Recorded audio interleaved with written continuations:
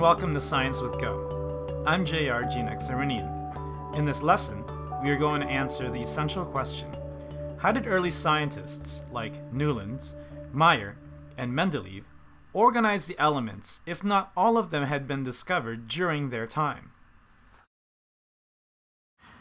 Let's start by taking a look at a set of cards with different shapes, quantities, and shades. You can print out the cards yourself from this blog entry and try the activity yourself. Your task is to arrange the cards in a grid with columns and rows. You could have arranged the cards this way, with no specific logical pattern. But that doesn't seem helpful to us. It looks confusing, and it doesn't really tell us anything. Let's try rearranging the cards by putting similar shapes together similar quantities together, and similar shades together. Now this looks better, and seems more organized, but there seems to be some inconsistencies. It feels like there may be some cards missing. Could you tell what's missing from this arrangement?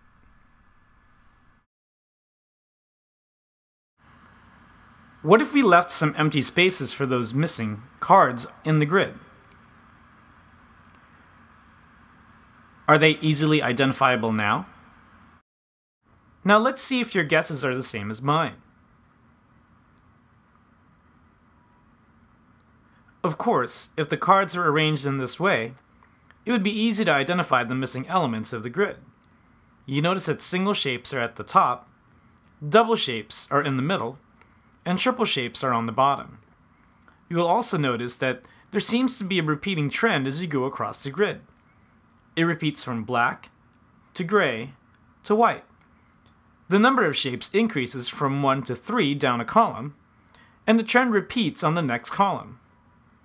This activity mirrors a problem that Dmitry Mendeleev had in the 1860s, and his effort to organize the known elements into a logical tabular format. In the early 1860s, scientists like Newlands and Meyer both published periodic tables that organized the elements but looked a lot like our first two attempts of our activity. Mendeleev's genius was to realize that there might be elements that haven't been discovered yet, and so he left empty spaces for them in his table. Here's a picture of his work.